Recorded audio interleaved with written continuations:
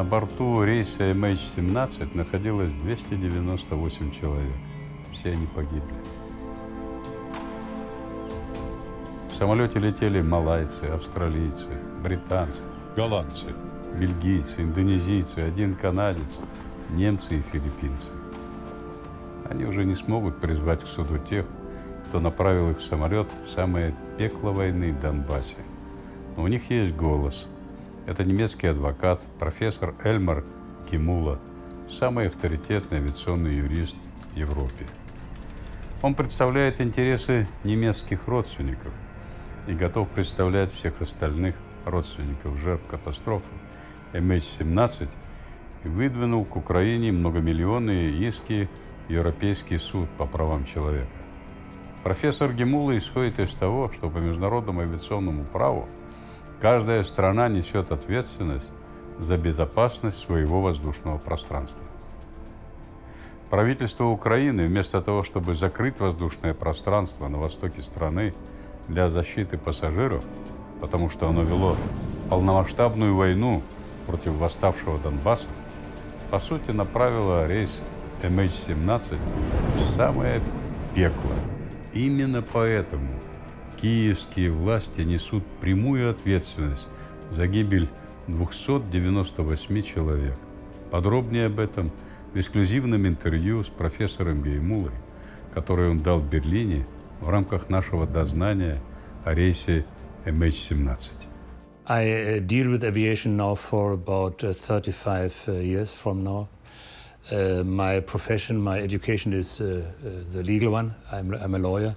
And 35 years ago, I've decided to concentrate on aviation and aviation law. And this is what I, what I do right now, also regarding um, assisting uh, families of air crashes uh, who have lost their loved ones in air crashes in getting their compensation, getting their rights. I've dealt with a number of major air crashes uh, over the past, say, 20 years, uh, such as uh, Concorde, uh, the uh, mid-air collision above Lake Constance, uh, where a Russian plane was involved, Air France 447 above South Atlantic, um, Maiden of the Seas, which is um, Lockerbie, and MH17, of course. On the plane were four German citizens, and three out of the four uh, families have instructed me after the crash to represent their interests vis a vis the Malaysian Airlines company or vis a vis anybody who could have contributed uh, to, the, to the crash. In my view, mainly the Ukrainian government is to blame for the crash, and this is why we have uh, filed a complaint with the European Court of Human Rights, because we consider this uh, this negligence of the uh, Ukrainian government as a violation of human rights, the killing of nearly 300 uh, innocent people, amongst others, the relatives of my clients. Uh, Professor Giemulla, which kind of law, in other words, the aviation law or another type of law applies to this case and why? Well, this is, is very interconnected. Of course, aviation law is the main uh, legal basis for it, but aviation law turns exclusively against the against the airline, and we consider the airline, including the passengers, of course, as the victims of what happened above eastern Ukraine. Uh, the Im immediate financial consequences of a crash, like uh, organizing the funeral and so on and so forth, is compensated by uh, by my Malaysian Airlines. Um, this is the regular, um, say, uh, way you go through after such a crash. It's not just about paying compensation, it's just finding out who has caused the crash, who has, you could have, uh, have prevented the plane from crashing. And this is not the Malaysian airline company, this is the Ukrainian government. And this is why we have decided uh, to file the lawsuit uh, at the European Court of Human Rights on the basis of the Human Rights Convention where Ukraine is member to.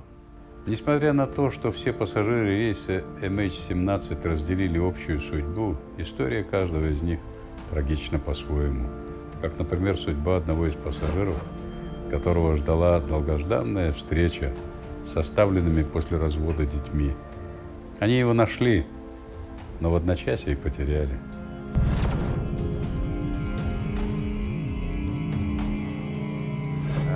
My father was in there. I was um, very young at my parents uh, parted. There was a normal person before, in front of the house. We go in the flat, we sit down, and then he uh, told.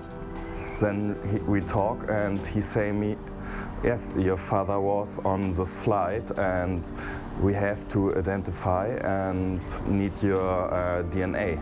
It was a strange feeling because we never see uh, before, and uh, but I know he was my father. I come from him. For my sister, it was uh, harder because uh, she tried to contact him very uh, intensive, and then it was finished. It was she, it, he was away. We hear, hear nothing from the Ukraine or something because uh, you never know what happens correctly.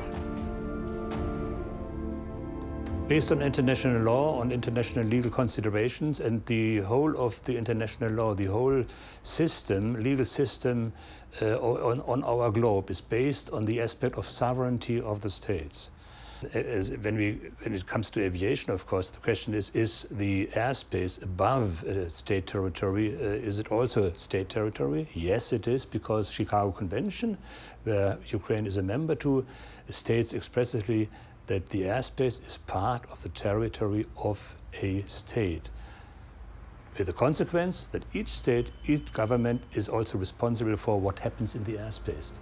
Большинство так называемых расследований, в кавычках, конечно, особенно те, принцип которых заранее презумпция виновности России, кажется намеренно сосредоточены на деталях, но как бы чисто технических аспектах дела – и все сводится лишь к вопросу, кто нажал красную кнопку в буке, или о том, был ли это бук или нет. Но разве, например, на Нюрнбергском процессе судили тех, кто непосредственно спускал курок?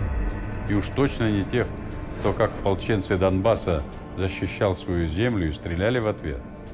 Международное общество судило тех, кто отвечал за организацию провокаций и военных преступлений. И вынес свой приговор и суд истории – который по-прежнему жива в Берлине, освобожденным от фашизма Красной Армии.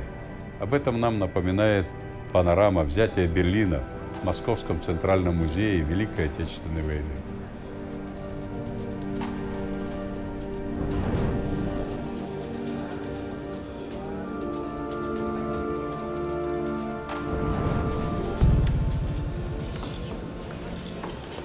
Те, кто спровоцировали гражданскую войну на Украине, именно гражданскую, и надеются настроить и британцев, и американцев против русских, забывают, что и Британия, и Америка неоднородны.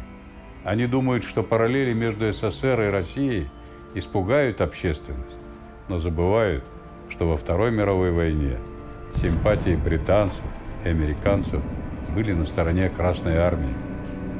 Американская газета «Вашингтон-Пост» писала «Дрожишь при одной мысли о том, что могло бы произойти, если бы Красная Армия рухнула под напором наступающих германских гитлеровских войск, или если бы русский народ был менее мужественным и неустрашимым.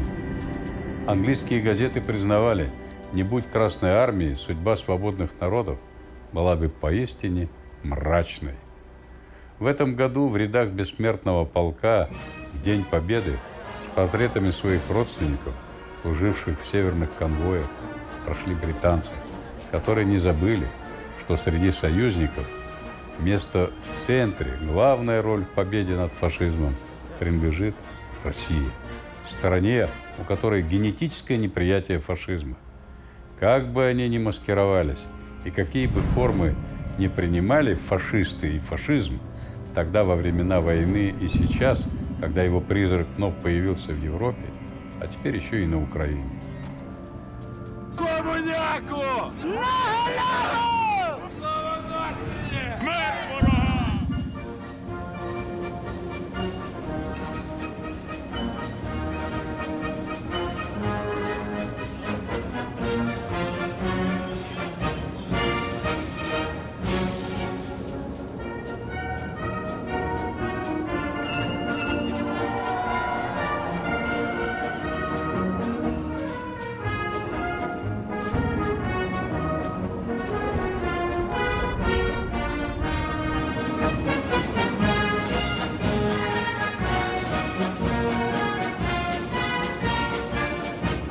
Very emotional to be here on such a day, but Moscow itself is just the most amazing city. Uh, only been here a day so far. I've already promised my daughter I'll take her back, so hopefully for a Victory Day parade again. Uh, it's just unbelievable. The friendliness of the people, I think, and the the welcoming uh, aspect of it all. Just um, feel very much at ease here. Uh, just lovely.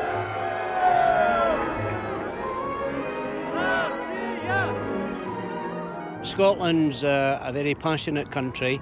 It's a very friendly country. It's a very colourful country. And from what I've seen of Russia, uh, in, only in one day, there are a lot of similarities.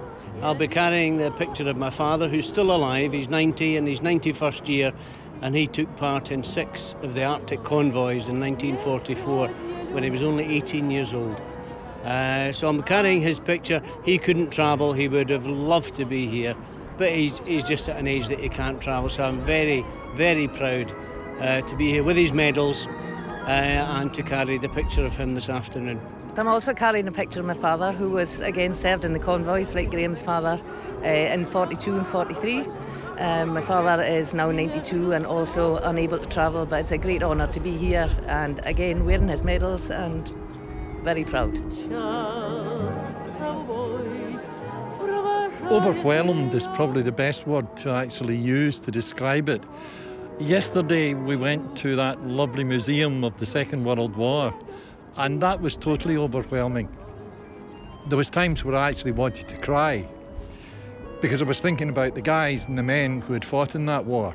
And I think today, uh, being here at, with the military parade going on behind us, and uh, we're waiting on the fly past, and then being able to join in with the people in the march uh, uh on the Regiment of the Immortals March, I can't really sum it up. It's just so tremendous and so fantastic.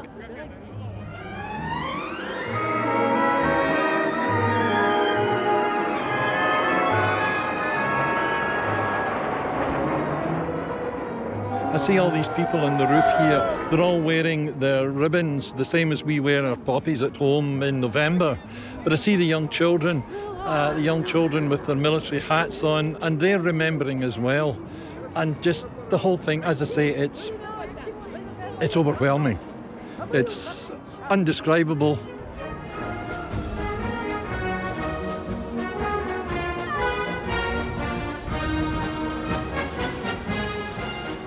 Well, if you don't put this in your bucket list and see it before you die, I'm very, very sorry for you because this is the most amazing and beautiful city. Uh, we were here eight years ago. None of these buildings over there were here. The whole skyline here is just amazing. Down in the streets, lovely people, lovely, uh, uh, clean streets.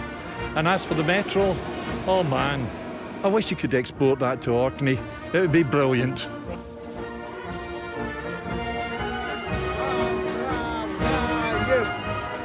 Бессмертный полк это это абсолютно изнутри народа идет. Для русских всех национальностей, как я говорю. Да здравствуют русские всех национальностей. Это такая церковная история, конечно, которая объединяет все конфессии, все, все, все, все национальности, мужчин и женщин, маленьких и больших.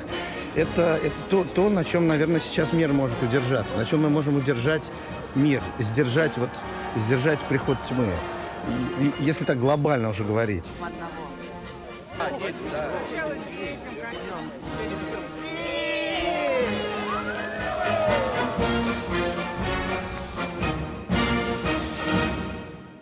Направленный в пекло войны рейс MH17 и тысячи мирных жителей, погибших в ходе операций ВСУ в Донбассе и около 200 погибших там детей, из которых 85 пассажиров Боинга, на совести киевских властей.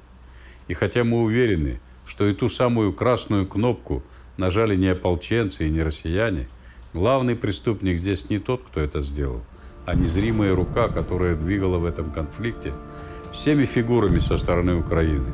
Ее главной целью была и остается Россия, а Боинг, МХ-17 и даже сама Украина для нее, увы, только пешки.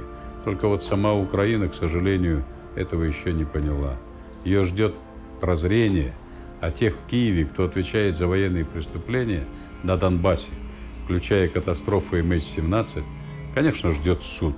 The basic, if you like, the constitution of international aviation is the Chicago Convention, which has been uh, um, entered into force in 1949, and uh, 191 uh, governments in the world are, uh, have signed this convention. So nearly the whole world, apart from very tiny uh, uh, isolated uh, countries, have, are members of the Chicago Convention. And the organizer of the whole system is uh, the International Civil Aviation Organization. So you are a member of this organization if you sign the Chicago Convention. In doing this, you oblige yourself to some uh, behavior uh, which is based on the principle of uh, sovereignty of the government. Uh, Article 9, in addition to this, Article 9 of the Convention says, well, if there is a military conflict or uh, uh, something which could get in contradiction to safe aviation, then the government must close the airspace. It's expressly stated in Chicago Convention. So everything what happens there was under re the responsibility of the Ukrainian government. In my view, I would say, well, given the background and the occurrences before this crash, the Ukrainian government was fully aware that the civil traffic was highly endangered and they did not protect it. Call it negligence, I would say it was intentional.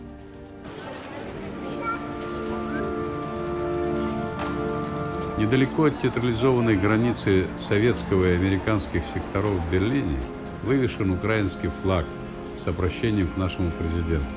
Однако, вопреки намерениям авторов, из-за незнания пунктуации смысл получился совсем другой. С нашей точки зрения, с учетом двоеточия, которое должно предверять цитату, как раз верный.